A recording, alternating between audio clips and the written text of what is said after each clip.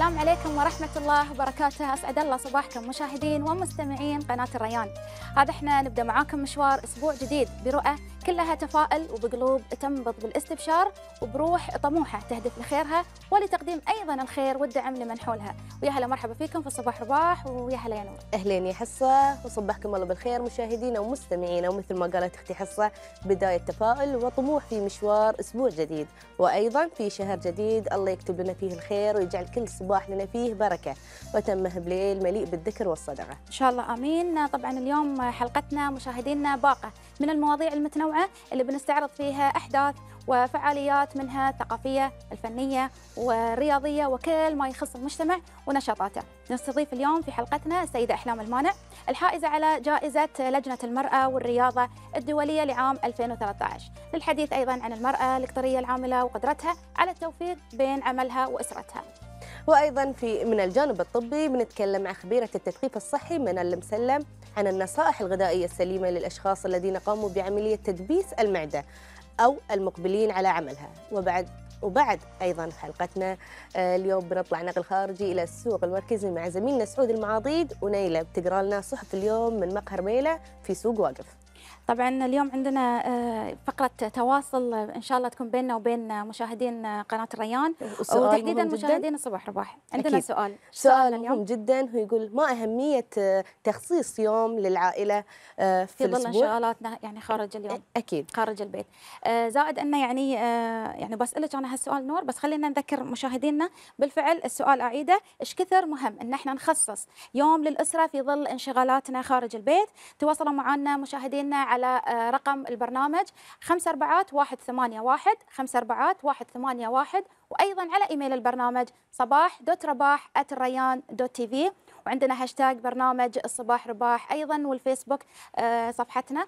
آه، نور إيش كثر يعني بالفعل مهم عندك تخصصين وقتك لو يوم واحد خارج يعني وتكونين يعني خلاص فاصلة عن العالم الخارجي بس أنا اليوم حق بيتي. شوفي السؤال يا يا وفقته لأن هاي اليوم أنا مخصصته حق عيالي. صدق بخلص من الدوام بروح البيت زين بس جد مهم جدا عشان الترابط الأسري صح. عشان التكاتف. بعدين حتى اليهال يتربون على إنه يتمون آه، مع بعض مترابطين آه، ما يتشتتون ويبعدون. ترى التباعد عن الأسرة آه، يسوي تفكك في الأسرة. ف يعني تخصيص حتى لو يوم يوم مقدور عليه يعني. يخلي قلوبنا على بعض حبنا يزيد حق بعض ما نقدر نستغنى عن بعض. حلو تخصيص نشاطات تختلف تماما عن نشاطات باقي الأسبوع م. يعني آه خلينا نفترض مثلا إذا كان يوم السبت إجازة وهذا اليوم آه ما أبغي تليفون ما أبغي أي آه خلينا نقول جهاز من الأجهزة هذه اللي قاعد نستخدمها آه خلاص اليوم يومنا لو بس بنقعد وبنسولف مع بعض م. أو آه بنطلع مثلا في- من الأماكن الجميلة اللي يعني آه متوفرة في البلاد سواء كان آه خارج نقول مثلا في سيلين. ممكن نقول حديقة من الحدائق وخصوصا إن الأجواء هالأيام تساعد و كسر للروتين كسر للروتين مثل ما يعني آه، قلتي نور. وجدا أيضا آه، مهم أن نزرع في عيالنا أهمية هذا الشيء زين من صغرهم. عشان لما يكبرون يتم يتم يتوارث ل- الأجيال الجاية. أنا أكيد أن الحين ال- المشاهدين أيضا عندهم بعد آراء يعني ثانية بخصوص هذا آه، السؤال. أكيد. وعندنا أيضا اليوم بنعرض في حلقتنا صورة ال- آه، اليوم للصباح رباح هي الصورة في نهاية حلقه آه، في نهاية الحلقة بإذن نهاية الله الحلقة إن شاء آه، الله. بنتكلم عنها. إن شاء الله. مشاهدينا آه، خلينا نروح آه، للمركز الثقافي للطفولة. يضم آه، ينظم يوم الخميس مهرجان القراءة والذي يهدف إلى غرس حب القراءة بين الصغار وربط الأطفال بالكتاب كجزء أصيل آه، من العملية التربوية. طبعا مهرجان القراءة استمر لمدة ثلاثة أيام وذلك في حديقة المتحف الإسلامي. خلونا نروح التقرير نشوفه مع بعض.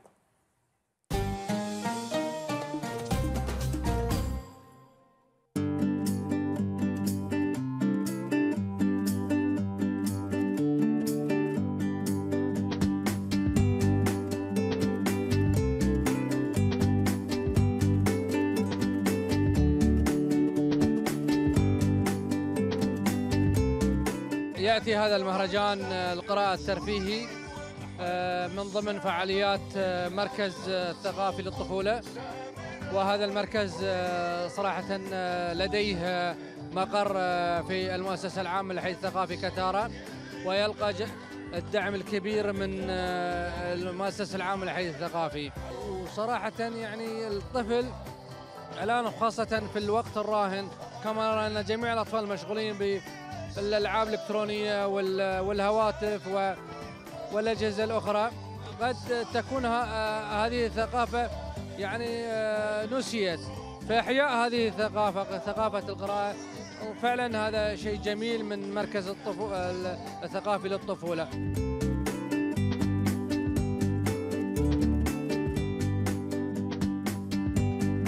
مهرجان القراءة هو عبارة عن الحفل الختامي لحملة أنا أقرأ التي أطلقها ثقافي الطفولة في مايو 2013 ويأتي كختام لهذه الحملة في هذا اليوم إن شاء الله خلال الأيام الثلاثة القادمة. وذلك بمشاركة العديد من الجهات منها حكومية مثل وزارة الداخلية الهلال الأحمر وأيضا بعض المؤسسات الخاصة مثل مركز الدوحة للأفلام مركز أدب الطفل آه، مؤسسة الدوحة للأفلام مركز الدوحة لحرية الإعلام وأيضا العديد من الجهات. فالمهرجان الختامي يأتي كنوع من النشاط الترفيهي للأطفال ولكن بأسلوب التعليم التثقيفي.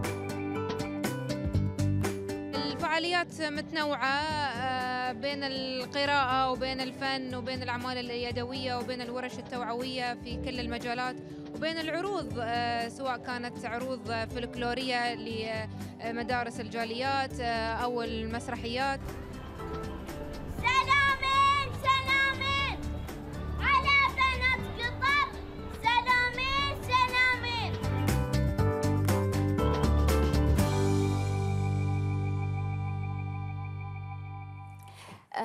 هذه مثل الأنشطة اللي ممكن يعني العائلة أو يعني يا أنا كأم أو كأب ممكن يخصص يوم بس خارج البيت ويكمله مع عياله في هذا النوع من أنواع الفعاليات. جدا جميل إن أنا أكون مع أولادي في هذا النوع من الأنشطة. بس لاحظتي انها استمرت لمدة ثلاثة أيام. إحنا يعني أنا شفت التقرير كنت أتمنى أن تستمر أسبوع ولا أسبوعين.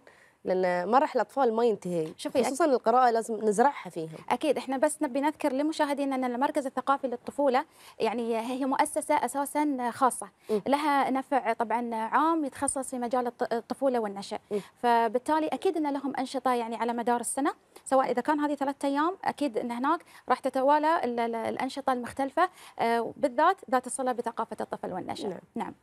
آه، اذا عندنا نور من الثقافة. والقراءة إلى الأزياء إلى والمجوهرات بنروح تحت الرعاية الكريمة للشيخ فيصل بن قاسم آل ثاني رئيس رابطة رجال الأعمال القطريين. يتم تنظيم معرض الأزياء والمجوهرات طبعا المعرض مشاهدينا يضم مجموعة من المصممات القطريات والخليجيات المميزات. خلينا نشوفها مع بعض.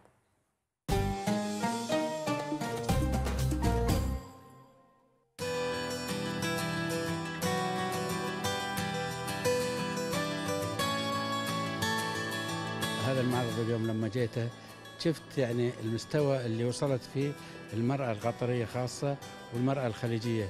اليوم شفنا اليوم المعرض هذا وشفنا الأزياء اللي عارضينها فيه يعني بمستوى آه، يعني عالمي لا من ناحية الجودة ولا من ناحية الشكل والجمال. إحنا نتمنى يعني أن يكون هذا المعارض تكثر وخاصة إحنا للسيدات لأن آه، أكثر الأسواق دائما للسيدات وهم أكثر من يعني يستهلكون الأشياء هذه. فنبغي يعني يكون عندنا إحنا في قطر خاصة والقطريات وذي وكذلك الخليجيات. إن عندنا من بناتنا وخواتنا إن يكون عندهم آه، طموحات إنهم يكونون بمصاف المنتوجات العالمية.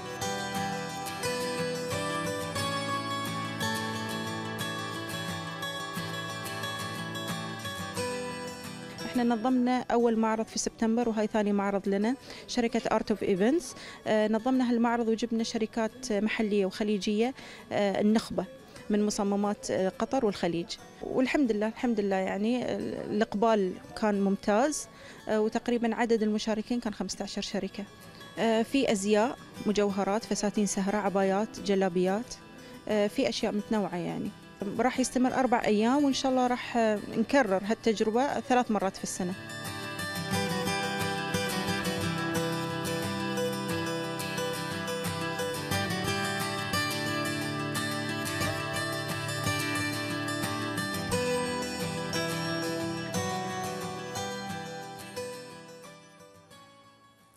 حصة شفنا أشياء حلوة في المعرض من آه، جلابيات من عبي من مجوهرات معروضة في المعرض. أظن أنت رحتي أمس؟ اي بال- آه، بالضبط رحت أنا يعني وقت ال- الافتتاح. وانتبهت بالفعل إنه يعني في آه، لمسات جدا حلوة آه، سواء كانوا من آه، يعني مصمماتنا القطريات وأيضا يعني من ال- الخليجيات ال- المشاركات. آه، أيضا كان في توافد جدا جميل يعني من ال- آه، الجمهور النساء. نعم. وغير هذه يعني رابطين ما بين الحديث والجديد في في مدخل المعرض الحديث جميل. والقديم ال- آه، الحديث والقديم آه، في بداية في مدخل المعرض كان في مثل آه، خلينا نقول ال- ال- القهوة ال- الشعبية م. آه، القطريه وبعد لسيدة قطرية وجميل اللي عجبني فيها إنها كانت يعني تدعي الناس تفضلوا. يعني تعرفين بطريقة آه، فيها طابع ال- الخليجي القطري في مسألة ال- آه، الضيافة واستقبال آه، الضيوف هذا المعرض مستمر؟ هذا المعرض مستمر طبعا. آه، اليوم الثاني اليوم آه، لمدة آه، مثل ما قالوا يعني ثلاث موقعه أيام أو؟ أربع أيام تقريبا في أوتيل أو فندق آه، سانت ريجس مم. إي نعم. حلو. طبعا الحين عندنا من هذا المعرض وصلنا إلى نشاطاتنا لليوم.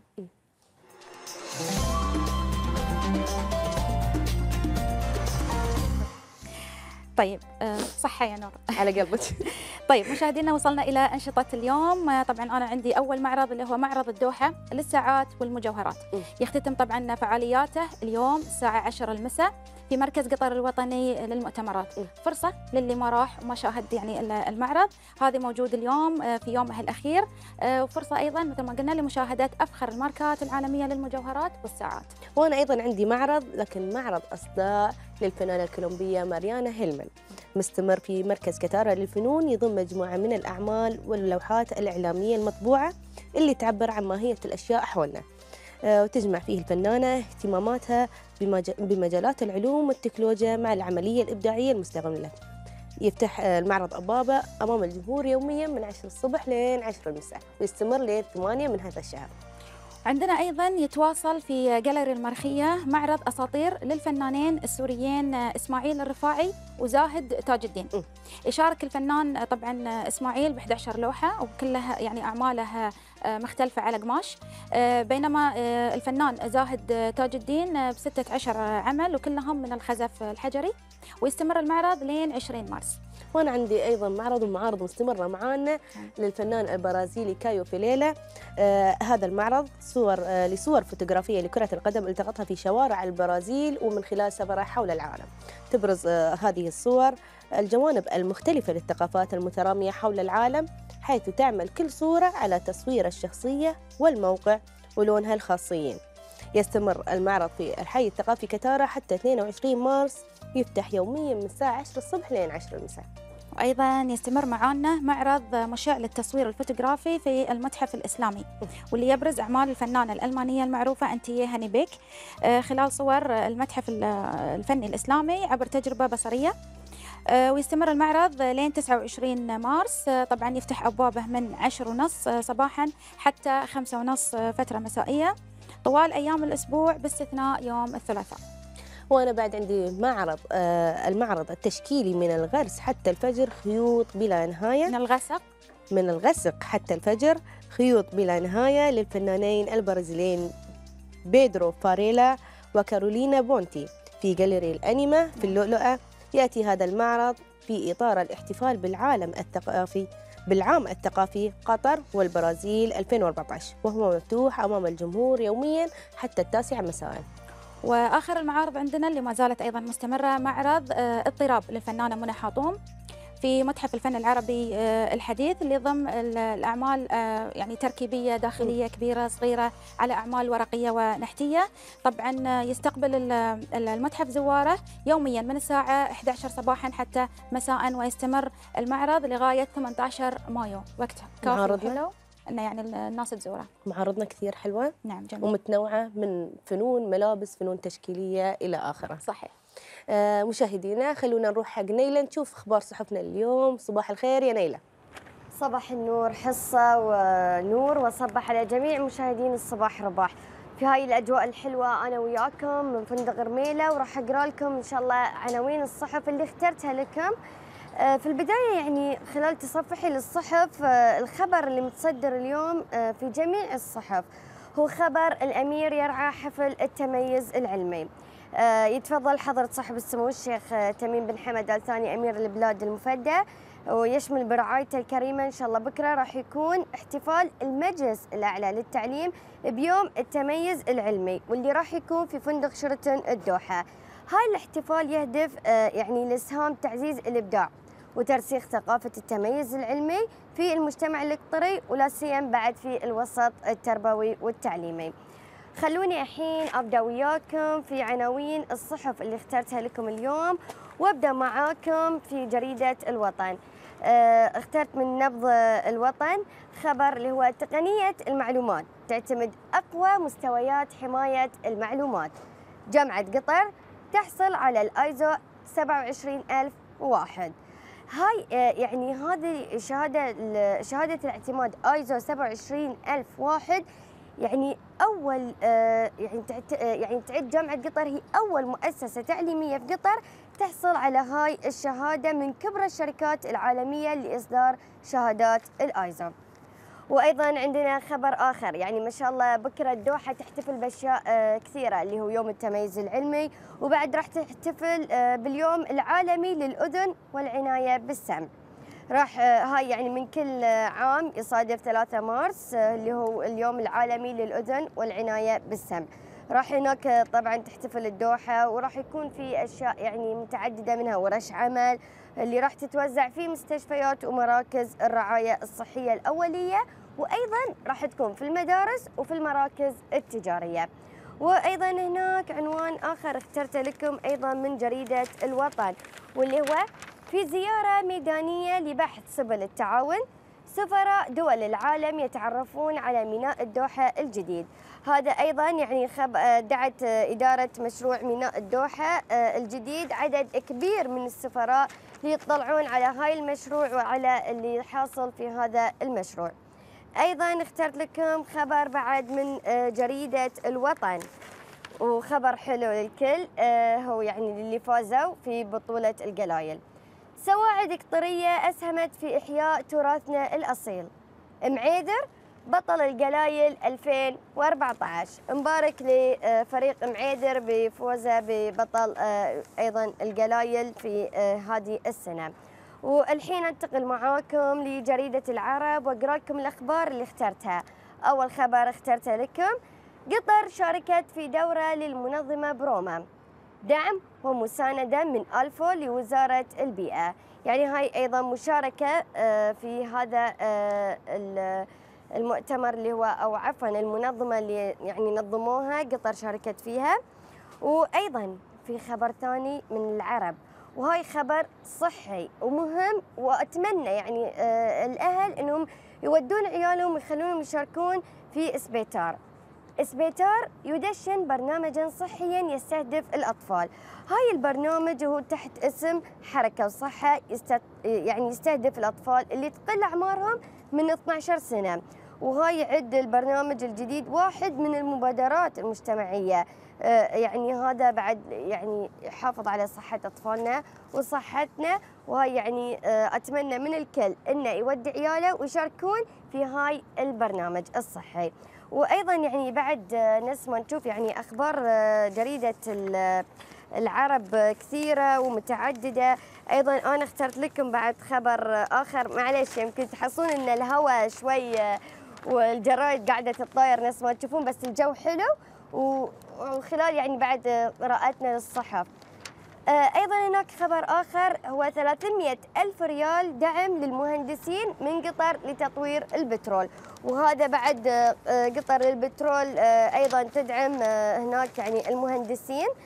وهذا مش آه، شيء جديد دائما قطر البترول تدعم الكل. وأيضا عندنا خبر آخر من العرب. في 23 مارس الجاري اللي هو هاي آه، الشهر أنتم على موعد مع معرض أبحاث الطلبة. هذا المعرض اللي راح يعني إن شاء الله يكون في تقديم هناك أبحاث للطلبة. هو راح يكون من 23 م- آه، من 23 لين 25 هاي يومين اللي شاركوا فيه طلبتنا في هذا المعرض يقدمون أبحاثهم. والحين نروح معاكم للراية واخترت لكم من ملحق الثقافة.